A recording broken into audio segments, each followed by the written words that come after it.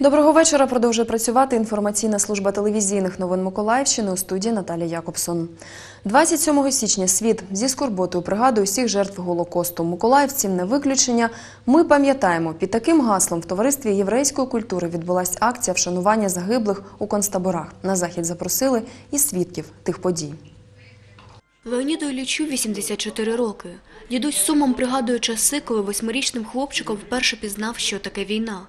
Розповідає, його матір зневажала тільки за те, що вона закохалася та вийшла заміж за єврея.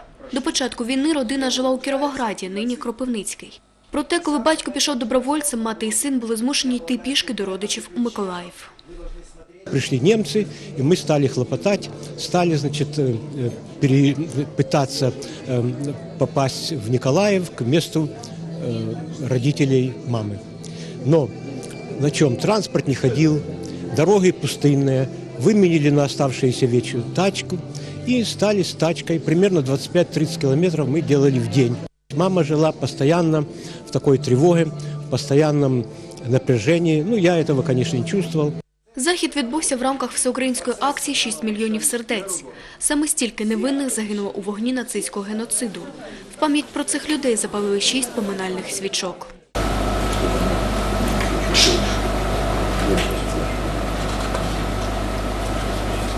Мы обязаны говорить об этом каждый год, как минимум. И ведь здесь речь идет не только о том, чтобы почтить память евреев. Речь идет о том, чтобы запомнить и зафиксировать, чем угрожает крайне реакционный национализм. Учасники театральної студії Миколаївського товариства єврейської культури представили літературно-музичний номер, емоційну постановку «Сповідь про наслідки війни». Спешат поезда и в вагонах забитых Навстречу удушью и смерти Летят сквозь года души многих убитых И шепчут друг другу Не верьте! Это очень большая трагедия. Это невозможно не помнить. И это нужно знать. Это нужно знать каждому и помнить каждому, для того, чтобы это больше не происходило никогда. Крім цього, на заході презентували збірку «Богданівські читання». Кожна сторінка присвячена пам'яті загиблих у Богданівському таборі. В Богдановке было, э, по примерным данным, так как точно установить невозможно, погибло около 48 тысяч чисто евреев вместе с другими этническими группами. Э, Сборник э, с- явля- представляет собой сборник статей ученых, исследователей, которые попытались раскрыть отдельные аспекты этой тра- многогранной драмы народа. На завершення акції усі учасники вирішили до пам'ятника 10 тисяч миколаївців жертв Голокосту, аби вшанувати пам'ять загиблих та покласти квіти до меморіалу. Світлана Кльосова, Юлія Коскова, телевізійні новини Миколаївщини. Замість 4 гривень 6 інформація про начебто зростання вартості проїзду у маршрутках в Миколаєві останнього тижня ширилася інтернетом. Проте сьогодні підняття ціни не відбулося. Цього питання в порядку денному на засіданні виконкому навіть не було. Зо два десятки активістів, які прийшли до зали послухати про тарифи, пішли геть. Ще до початку засідання виконкому почали збиратися активісти. Серед них і Кирило Хомяков. Разом з однодумцями вже два роки вивчає пасажиропотік та навіть зробив свої підрахунки. Хлопець наполягає на створенні у місті комунального підприємства, з яким водії маршруток укладали договори напряму. Средняя стоимость порядка 3 гривен 55 копеек. Это учитывая тот факт, что отсутствует э, фактор так называемой, как мы их сейчас э, говорим, фирмы прослойки. Натомість перевізники в один голос твердять, нинішній тариф замалий. Якщо його не підняти, транспорт просто стане. На момент последнего поднятия тарифа рост цены на топливо были в районе 16 гривен. Сейчас в районе 30 гривен. Если любой человек возьмет методику, она есть в свободном доступе в интернете, пересчитает по нему, то она составит от 9 до 11 гривен, в зависимости от длины маршрута и в зависимости от вида топлива, потребляющего транспортное средство. Міські чиновники інформацію про підняття тарифів спростовують. Для того, чтобы рассматривать вопрос о поднятии тарифов, необходимо сначала официальное обращение перевозчиков с расчетами по этим тарифам. Обращений официальных от перевозчиков не было, расчетов они не предоставляли.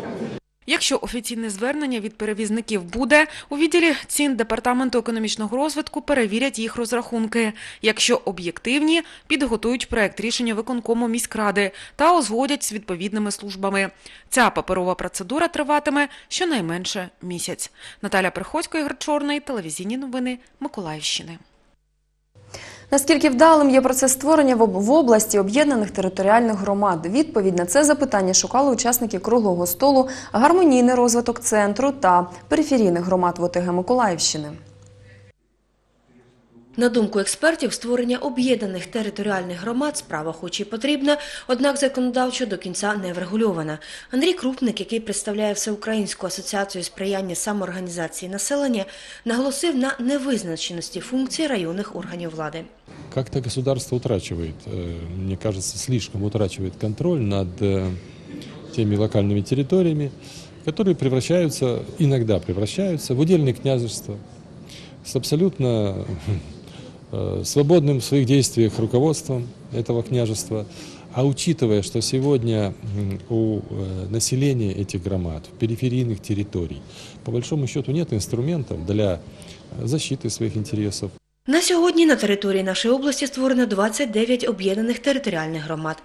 Експерти громадської організації Фонд розвитку Миколаєва протягом жовтня-грудня 2017 року аналізували роботу чотирьох з них. Увага приділялась використанню субвенцій з державного бюджету. Як позитивний приклад назвали найбільшу Баштанську міську територіальну громаду. До неї входить 26 населених пунктів. Є свій статут, стратегія розвитку до 2020 року. Заступник голови Баштанської ОТГ Світлана Євдощенко розповідає, левова частка субвенцій спрямована саме на села. Потребували субвенції у нас практично всі, і ми надали е, всім субвенцію, всім сільським населеним пунктам.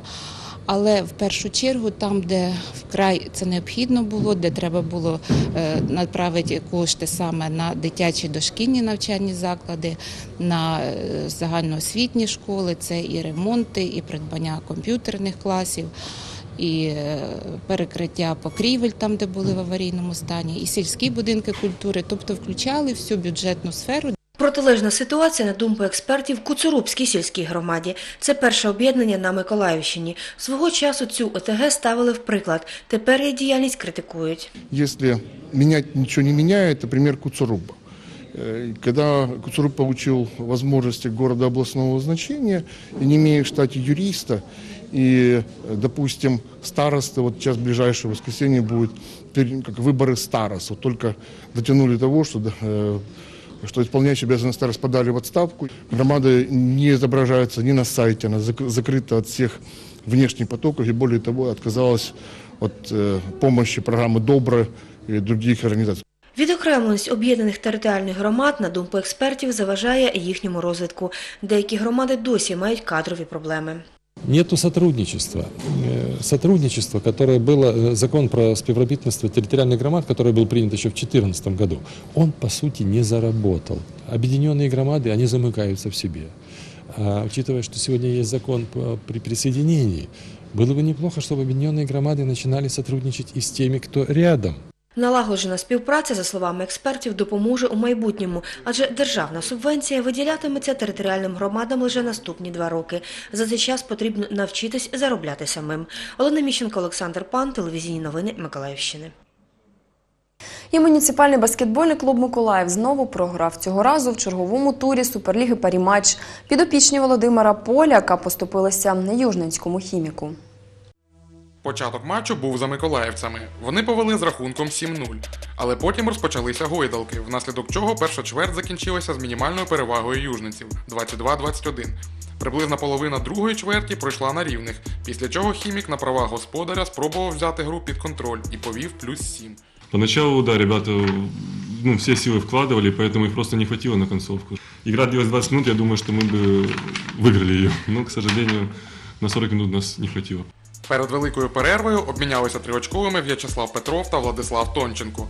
У третій чверті рахунок поступово збільшувався не на користь Миколаєва. Навіть далекобійна артилерія не надто допомогла гостям, тим паче, що білосині програли більшість підбирань. Врешті-решт, у четвертій чверті южниці тільки збільшували свій відрив. Фінальна сирена зафіксувала їх перемогу з рахунком 92-75. Ребята старались, отдавались, но, к сожалению, не хватило. Ну, просто борьбы, борьбу на, счету, на счетах мы проиграли, если после половины как бы она равная была, то мы в итоге 10 сколько проиграли, это сказалось. Как бы все закономерно, но за отдачу, за желание, за борьбу я ребят своих похвалил. Многовато пропустили, но нападение пока работает, знаете. То есть э, рад этой победе и сказал ребятам о том, что м, эта победа важна с точки зрения турнирной таблицы. Ця поразка третя поспіль для Миколаєва і десята загалом. Хімік впритул наблизився до білосиніх, до того ж має гру в запасі. Володимир Степанов, телевізійні новини Миколаївщини. На даний час це вся інформація. Наша інформаційна служба продовжує свою роботу. О 19 розповім більше новин. Лишайтеся з нами.